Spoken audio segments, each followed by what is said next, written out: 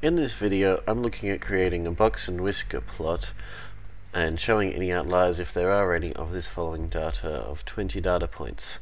So a box and whisker plot shows the following five things. We have the minimum value, we have the first quartile, we have the median value, we have the third quartile, and we have the maximum value. So we want to find these five things and then we can simply create up our box and whisker plot afterwards. So our minimum and maximum are easily found because they're our smallest and largest values. This data is already in order so I can just read those straight off of 26.6 and 35.7. Then we want to find our median and because this says 20 data our median is halfway and our data is nicely arranged into two lots of 10 so our median is here between 28.1 and 28.1 so that's our, where our median lies.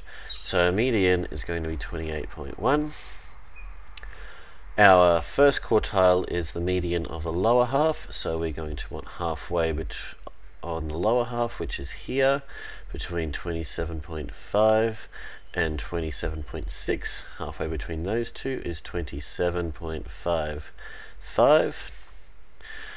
And then we just want our third quartile, which is the halfway point on the upper half. So that's our third quartile, which is between 28.5 and 28.7, which is 28.6.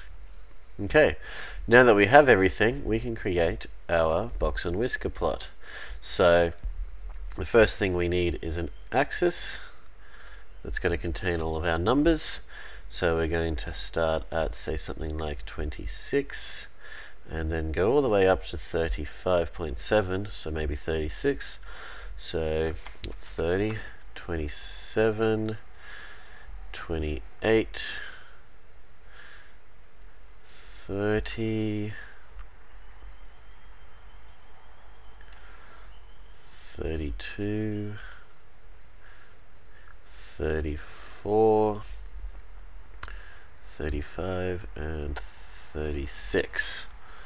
Okay, so now we can plot our points. So the first thing we're going to look at is are there any outliers around the minimum and maximum. So 26.6 is still rather in close to 27 and there's a lot of 27s, a lot of 28s, so there's no outliers on the lower end, so our minimum is going to be part of our box and whisker plot, so it's going to be represented by a dot of 26.6. Then we can have a look at our maximum. Now, 35.7 is quite different to 29.2. It is very different. So we are going to have 35.7 is an outlier. So this is 35. So 35.7 is going to be somewhere there. So we'll mark that as an X. Then we look at 29.2, which is very close to all these other numbers down here. So our whisker is going to be at 29.2, which is all the way down here.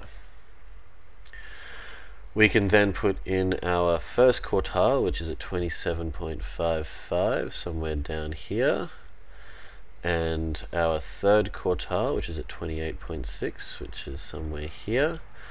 And we can create up our box and we can put on some whiskers.